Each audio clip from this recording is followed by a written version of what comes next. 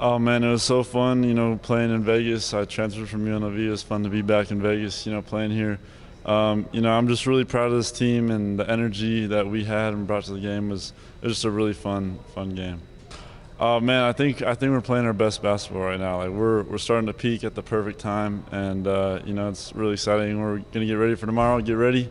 Oh yeah, I mean, how how could I not be right? It's uh, it's a pretty good game for me, and uh, like I said before, I give credit to my teammates for finding me tonight. Um, but yeah, really, really fun and exciting game. Had to bring the energy. So, a uh, big emphasis for us is just making sure they don't score inside the the post. They killed us last game in the post, so we're gonna force them to make tough, tough threes. Um, but yeah, that's that's what we're going for tomorrow.